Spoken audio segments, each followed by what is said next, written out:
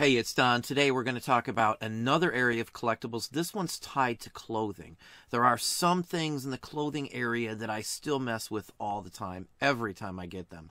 We're going to talk about buckles today, and if you hang around to the end, I'm going to tell you a story of the very first buckle that I missed because I didn't know it was worth a fortune. And we're going to show you those buckles, and we're going to show you what they go for. That'll be at the very end, the last item I show you today. But let's hop over right now and show you some of the values, and I mean high thousands of dollar values on some buckles. So with buckles, the value is surely there if you know the brands, the styles, what to look for in these. They show up everywhere you're looking for clothing at, I can tell you right now. So if you're a clothing seller, buckles are something you should be definitely looking at. Even if they're on the belt still, even if they look like they're the type you can't remove without ruining the belt, I'll buy belts with a buckle on it and just cut off the belt all the time if the buckle is where the value is at. Doesn't matter to me. The buckle is all I really care about most of the time. Most of the time, the belt's just a Junko belt. Someone would put this on something else anyway. So this one you can see went for over $4,000. This is done by a California jeweler. This is all sterling silver, 14 karat gold, and 22 karat gold as well. There's rubies and stones all throughout this. Better be for that kind of price, $4,000. Now, if you don't know, all those big, giant, gaudy belts, the ones that are the most popular and sell for a ton of money, are related to the rodeo. All the rodeo belts and buckles that I find, I grab them up as quickly as I can find them. Even the just the Junko ones, the standard ones that just show a Bronco Buster or something like that on the top, I will still hop on those in a second. This is just a perfect example. There's even rubies on the side where the belt slide piece bends up and down on this too. So really fabulous piece here. Photos are a little dark, but it, it's just a nice piece. You just can't judge it at all by that. Here's another rodeo. Again, rodeos are where all the money's at next to military. Military and rodeos are probably really close to the same range for the majority of them. This one went for 34, almost $3,500. It's hand etched. It's from 1949. These earlier ones are really the ones that just don't show up. I don't think I've ever ran into a vintage, vintage one from this long ago, but I have ran into some rodeo ones that made us some insane amounts of money. Now here's a Shoshone Powwow belt buckle here. Just a fabulous piece. It has an 1893 $10 gold coin in it. Almost $2,000. Nice example here. The coin really sets this one off. It's a nice known piece. The coin is obviously much older than the buckle itself, I would say. Now here's a Clint Orms. This is $1,850. Again, this one's marked. Most all of these sorts are going to be well marked, especially if they're sterling silver like this one. Western style. I like this one actually. It's got a geometric, almost um, abstract arrows on the face of this. Very fine example here. I don't think you can go wrong with something like this in all honesty. Now, unless you look at the backs of these, you'll never know the value. So always dig, always grab, always look and examine these whenever you find them. It's usually in a tray, a big tray, a box, or at an auction, there'll be a big box or something like that as well. We buy buckles in big bulk lots, so obviously nothing quite this fancy, but buckles in general always sell for us.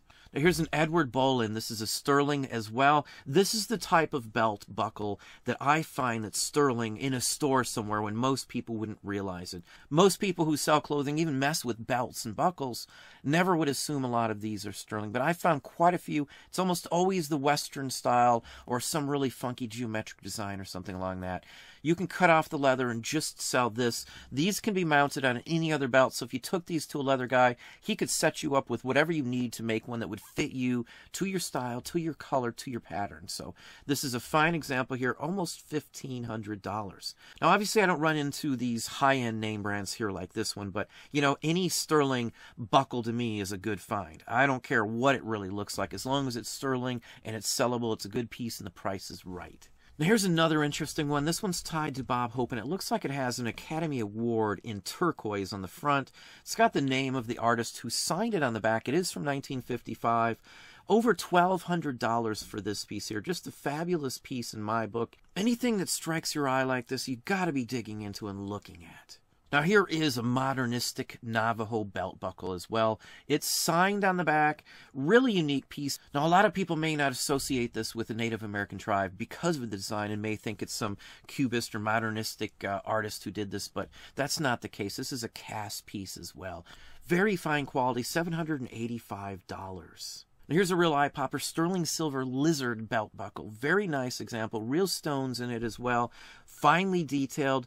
$555. A lot of these realistic animal ones do sell very well. You'll find all sorts of belts and buckles. Now, I find buckles at almost every single place I source at. So, if you're sourcing for clothing again, you got to be looking at the belts and buckles. Don't just look at them for eye appeal. Turn them all over and look at the backs. You're going to run into some that are by a very good brand name or have some other issues with it. Maybe limited edition, maybe it's sterling, who knows. But this is one area that most clothing buyers do tend to miss more than others. And most people who buy antiques and collectibles in general do tend to miss some of these sorts of items.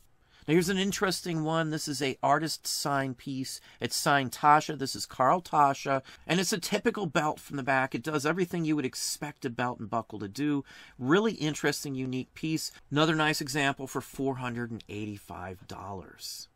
Now, a good area too are Boy Scouts, the commemorative pieces as well. Now, I was an Eagle Scout. I was in Scouts for quite some time. Philmont is like the national encampment of Boy Scouts.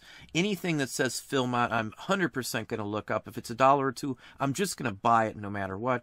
Maybe even quite a bit more than that, depending on the version of it. $400 basically on this one. Standard belt buckle. They've made quite a few of these. Boy Scout stuff in general, like this, you have to know what Philmont is for it to carry any meaning to you to begin with. Here's another fine example. Now, you'll see this emblem on Order of the Arrow items also. So, this emblem itself should be a key to you to grab something like this. This example here, they made 50 of these. That was it.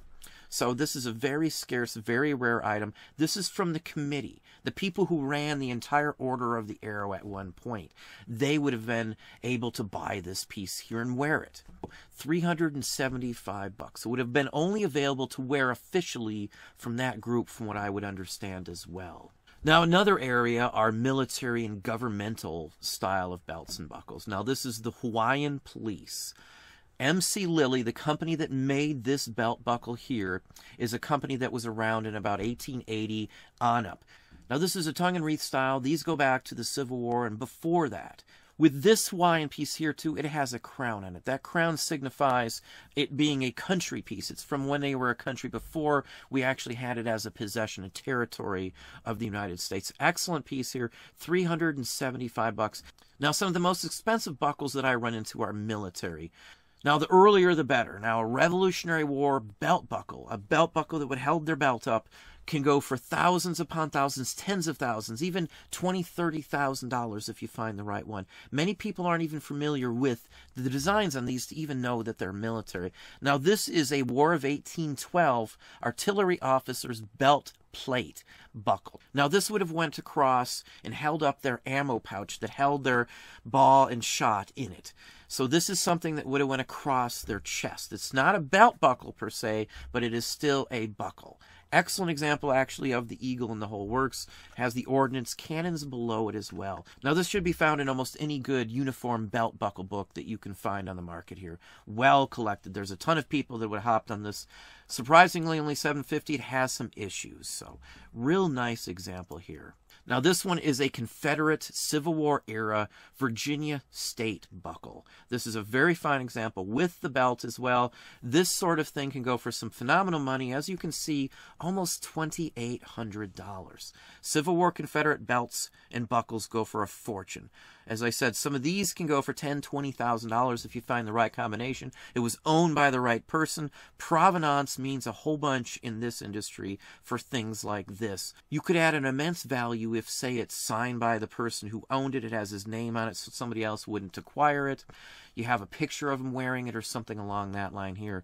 Again, look at the price on this. This is a massive piece here. Now, here is a standard Confederate States of America tongue and wreath, just like we showed you with the Hawaiian Police. This one went for some good money, over $2,500. These two pieces separate, and in fact, let me just show you. You turn the tongue sideways and it slides to the opening, and then you retwist it and then lock them into place. These work great. I have some newer versions from the US Navy that have the same basic design that I've shown in other videos. Again, look at the price again on this one here. Now this last one comes with a story with it as well. I was first going to estate sales and live auctions probably 20 years ago. Didn't know a lot about military or belts and buckles or any of this sort of thing back in those days. I did know some paper and toys and things. We did sell clothing and books as well. I was at an auction and I had set a price on how much I wanted on a tray of buckles. They had, I don't know, 30 of them and I was looking to spend about three to five bucks a piece for the entire lot of these things. So I had calculated the price you know, the bidding started, I bid and it kept going, it kept going, it hit my mark, and, you know, I'm like, okay, well, I, will stop out there, no big deal. I don't see anything fancy in that lot. Nothing piqued my interest at all, nothing looked like much that I'm used to seeing. Again, this is a long time ago, a couple decades probably ago. It went up to around $700 for this lot, maybe even a little hair higher than that. Some insane amount of money back then that I thought, you know, what the heck? At the end of the auction, I approached the guy who won and asked him what was going on with that because he was bidding against me and he told me about this buckle here. Hesston is a rodeo buckle as well. Doesn't have anything rodeo looking on it or anything else like that. If you look up this buckle right here, and again, I've ran into this one a few times since then as well and made some phenomenal money. They don't usually go for $700, but it's a $400 buckle almost any day of the week. Nothing fancy other than that word you see on it there. So this is an insider all day long. This is like a, a, one that you could actually find because most people have no clue on earth unless they are in the rodeo industry or into farming or something along that line and who have been to a rodeo, let's say, would even know what that name is. Now, I've been to a few rodeos in my life, so, you know, it's an interesting, fun event, a lot of good food and the whole works, a lot of things to watch.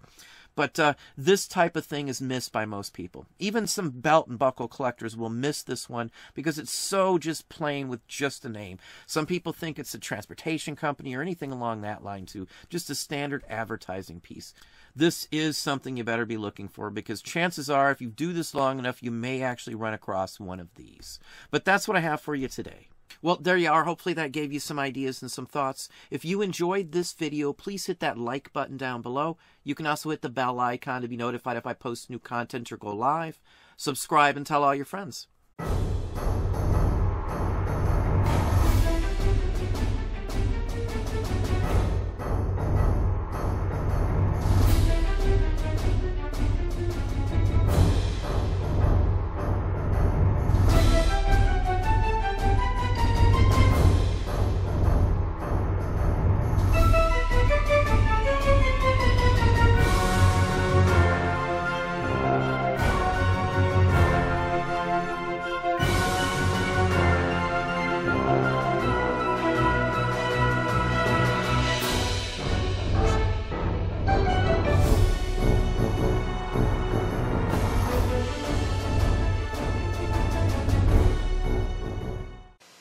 The game is Shinobi. 19 stages of major ninja warfare. Observe. You got your throwing stars, your bombs, your nunchucks. Shinobi, just one of 70 games from Sega. Master System and games sold separately.